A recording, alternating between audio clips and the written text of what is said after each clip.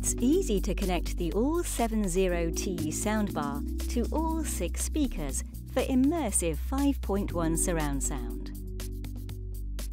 On the remote control for the ALL70T, press the Setup button until rear pairing appears on the display.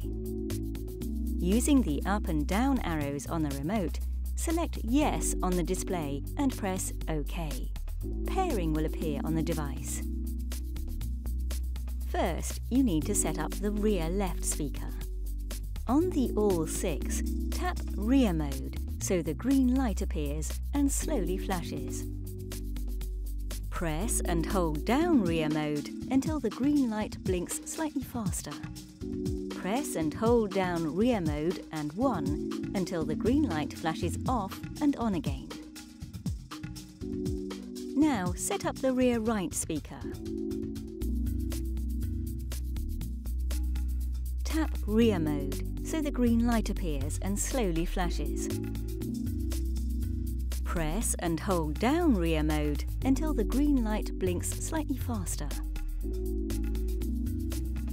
Press and hold down rear mode and 2 until the green light flashes off and on again.